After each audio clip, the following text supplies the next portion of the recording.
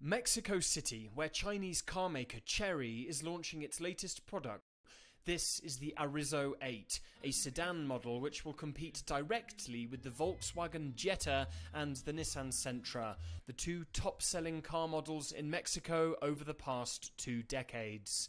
For Chery's Mexico Vice President Li Kongshuai, it's a challenge the Chinese brand is happy to take on. We have two years uh, presence in uh, Mexican market, and uh, right now we uh, have uh, more than 50,000 customers that are already using the SUV products from uh, Chery brand.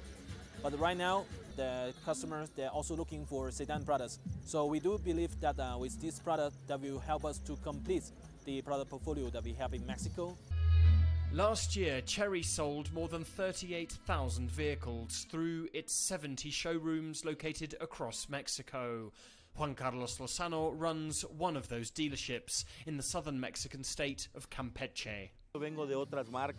I've worked with other car brands, but only Chery has allowed me to expand on such a large scale.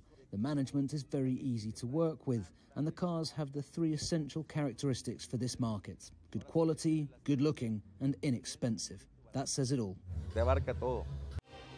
Indeed, Chinese car brands overall sold more than 129,000 vehicles in Mexico last year, with 2023 sales rising 63% over the previous year.